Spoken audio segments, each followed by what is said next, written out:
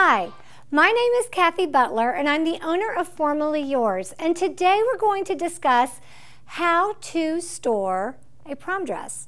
It's not really that difficult, but I can speak from experience because I have two daughters and I have a closet full of their old prom dresses. And what I do is I put it on a nice hanger, that's number one. And then number two, I put it in a nice bag.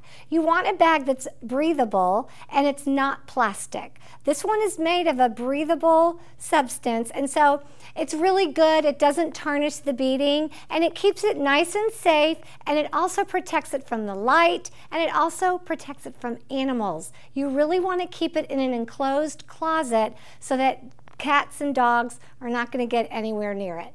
My name is Cathy Butler. I'm the owner of Formally Yours, and today we discussed how to store a prom dress.